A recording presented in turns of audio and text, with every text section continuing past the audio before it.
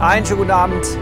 Herzlich willkommen hier zum Wetter vor acht. Regenschauer und Gewitter haben uns heute ein wechselhaftes Wetterchen besorgt, vor allem im Westen und im Südwesten unseres Landes. Und deshalb schauen wir sofort auf die aktuellen Radarbilder, um zu schauen, wo die Schauer gerade entlangziehen. Von Baden-Württemberg nach Bayern gibt es eine westliche Zugrichtung oder eine östliche Zugrichtung von West nach Ost.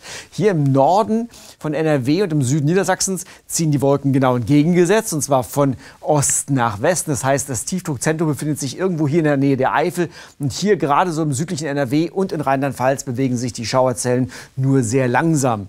Gerade hat es sich noch ein aktuelles Gewitter gebildet, und zwar südlich vom Saarland. Das zieht jetzt dort in den nächsten Minuten noch rein. Also auch Blitz und Donner sind noch nicht ganz vorbei heute Abend. Was wir hier sehen ist, dass die Regenschauer, dieses kleine Tief, sich in den nächsten Tagen ins östliche Europa weiter zurückzieht. Und das heißt, ab Mittwoch, Donnerstag wird es bei uns wieder trockener, sonniger und wir peilen wieder Temperaturen von rund 20 Grad an. Sehen wir gleich genauer. Erstmal noch auf die Nacht geschaut und da sehen wir die weiteren Schauer. Wie gesagt, einzelne kurze Gewitter jetzt in den Abendstunden sind durchaus noch möglich. Im Norden, Nordosten bleibt es hingegen sternklar. Zum Teil bildet sich etwas Nebel und hier wird es auch deutlich kälter. In der Mecklenburgischen Seenplatte minus 2 Grad.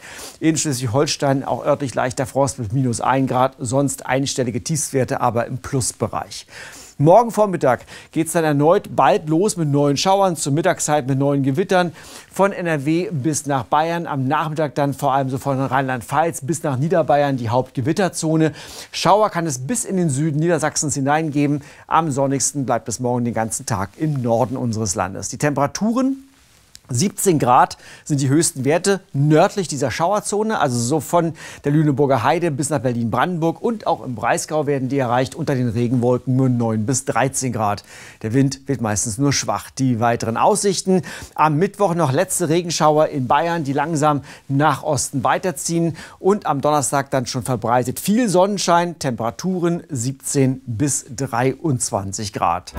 Ich wünsche noch einen schönen Abend.